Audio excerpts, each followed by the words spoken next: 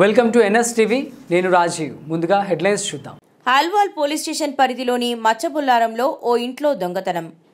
ప్రేమ్ నగర్ కాలనీలో నివాసం ఉంటున్న శివరాం ప్రసాద్ ఇంట్లో చోరీ. పదిహేను లక్షల విలువైన బంగారు వెండి ఆభరణాలను అపహరించుకొని పరారైన దుండగులు. పుట్టినరోజు వేడుకల నిమిత్తం రాజమండ్రికి వెళ్ళి తిరిగి వచ్చేలోపు దొంగతనం జరిగినట్లు గుర్తించిన కుటుంబ సభ్యులు. ఘటనా స్థలానికి చేరుకున్న పోలీసులు కేసు నమోదు చేసి సీసీ కెమెరాలు ఆధారంగా దర్యాప్తు ప్రారంభించిన పోలీసులు.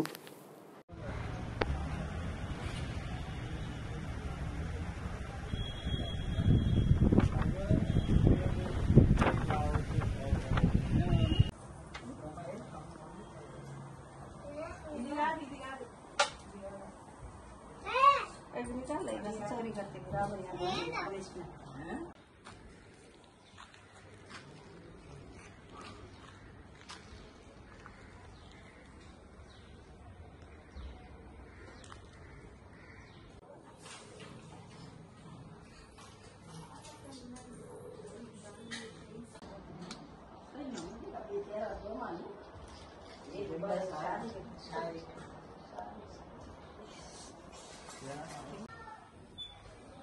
నా పేరు శివరాం ప్రసాద్ అండి.